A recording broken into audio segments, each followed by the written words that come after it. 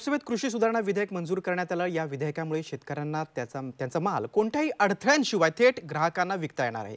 या विधेयकाबद्दल सामान्य शेतकऱ्यांना काय वाटतंय हे जाणून घेतलंय आमचे प्रतिनिधी तुषार तपास यांनी. लोकसभेत कृषी सुधारणा विधेयक मंजूर करण्यात आलंय आणि या विधेयकाबद्दल सर्वसामान्य शेतकऱ्यांना काय वाटतं हे जाणून घेण्यासाठी मी साताऱ्यातल्या पांढरवाडी या गावामध्ये आलोय.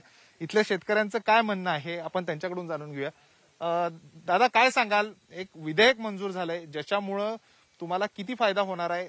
थेट तुम्हाला आता माल जो तुमचा आहे तो मार्केटमध्ये विकता येणार आहे स्वतःहून तुम्हाला तो विकता येणार आहे. काय वाटतं या विधेयकाबद्दल? खूप चांगलं शेतकऱ्याच्या दृष्टीनं खूप चांगलं विधेयक मंजूर झालंय केंद्रातून. पण प्रत्यक्ष शेतकऱ्यापर्यंत त्या विधेयकाचा फायदा कितपत होईल? शेतकऱ्याचं असं मत आहे की स्थानिक लेवलला ग्रामपंचायत नगरपालिका यांनी स्वतःच जागा एक आरक्षित करून ठेवली पाहिजे की इथं शेतकरीच की ग्राहकांना डायरेक्ट माल विकू शकतील. आत्ताची परिस्थिती काय आहे की शेतकऱ्यांना ग्राहकांना डायरेक्ट जर माल विकायचा झाला तर व्यापारी संघटना व्यापारी स्थानिक ग्रामपंचायत नगरपालिका बसू देत नाही.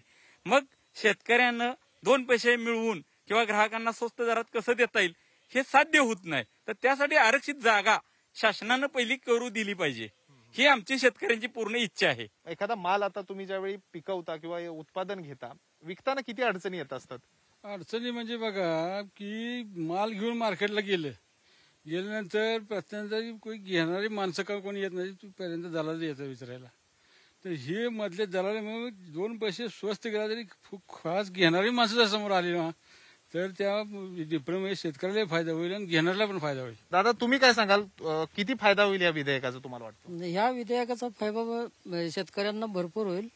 कारण हे शेतीचा माल एकदम चांगल्या क्वाल- चांगल्या प्रतीचा माल तयार होऊन बाजारात नेण्यासाठी दलालच्या पुढे येतात. ते दलालांना पहिलं बंद केलं पाहिजे आणि खाऊ गिरायकांना जास्त खाऊ गिरायकांना हा माल पो- पोचवला पाहिजे. कमी अगदी कमी अल्प किमतीतच पोचवला पाहिजे. शासनाने हे विधेयक मंजूर केलंय पण त्याची खरं तर म्हणजे ते खालच्या पद्धतीनं त्याच्या खालच्या खालच्या ह्याच्यात त्याची अंमलबजावणी व्हायला पाहिजे. विधेयक मंजूर केलं गेलंय मात्र त्याची अंमलबजावणी योग्य पद्धतीनं ग्रामीण भागापर्यंत झाली पाहिजे तरच या विधेयकाचा फायदा या शेतकऱ्यांना होऊ शकतो असं शेतकऱ्यांचं सांगणं आहे. व्हिडिओ जर्नलिस्ट ओमकार गिरीसह तुषार तपासे झी मीडिया सातारा.